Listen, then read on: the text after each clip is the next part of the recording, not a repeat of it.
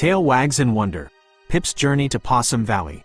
In the bustling town of Woofington, nestled between houses and parks, lived Pip, a golden retriever pup with boundless energy and a heart full of curiosity. Unlike his littermates content with chewing bones and chasing squirrels, Pip dreamt of adventures beyond the familiar streets, yearning to explore the whispers of a magical land hidden within the town's ancient oak forest. One breezy afternoon, while chasing a runaway frisbee, Pip stumbled upon a hidden path veiled by cascading vines.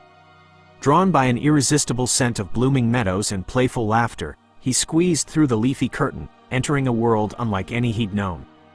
Gone were the familiar sounds of car horns and barking dogs, replaced by chirping birds, babbling brooks, and the melodic rustling of leaves. Sunlight painted the vibrant landscape in a kaleidoscope of colors, illuminating towering trees draped with luminous flowers and meadows carpeted with blooming wonders. But the most extraordinary sight was the inhabitants. Talking rabbits hopped down paths, squirrels chattered secrets from treetops, and wise old owls perched on branches, their eyes twinkling with ancient wisdom. This was Pawsome Valley, a hidden refuge for animals where magic whispered in the wind and adventures bloomed like wildflowers. Pip, initially startled, was soon welcomed with wagging tails and welcoming chirps. He learned that Pawsome Valley faced a problem. The River of Joy, their source of laughter and light, was drying up, its playful flow dwindling to a mere trickle. Their once vibrant valley was losing its magic, leaving the animals sad and worried. Determined to help, Pip, fueled by his boundless enthusiasm and puppy optimism, embarked on a quest to restore the River of Joy.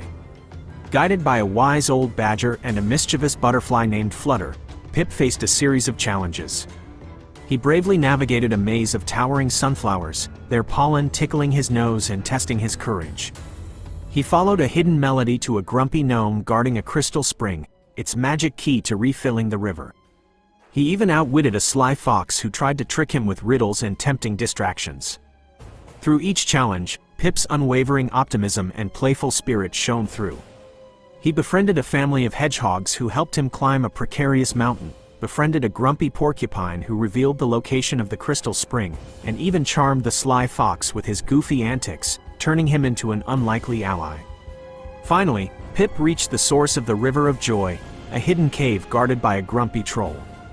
Using his quick wit and a well-timed belly rub, a skill all pups possess, Pip convinced the troll to share the secret of restoring the river, laughter. Returning to Pawsome Valley, Pip rallied the animals. He organized games, told silly jokes, and chased butterflies, igniting waves of laughter across the valley.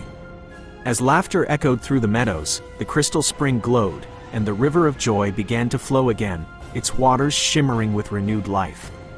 Pawsome Valley was saved, and Pip, hailed as a hero, learned that even the smallest pup, with a wagging tail and a playful spirit, could make a big difference.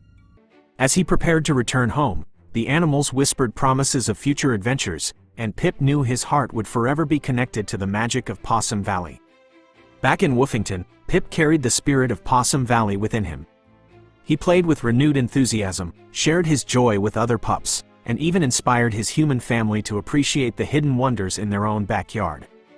As you drift off to sleep, imagine Pip curled up by the fireplace, dreaming of Pawsome Valley, a reminder that adventure can be found anywhere, even in the ordinary, and that a playful spirit and a wagging tail can bring joy and laughter to every corner of the world.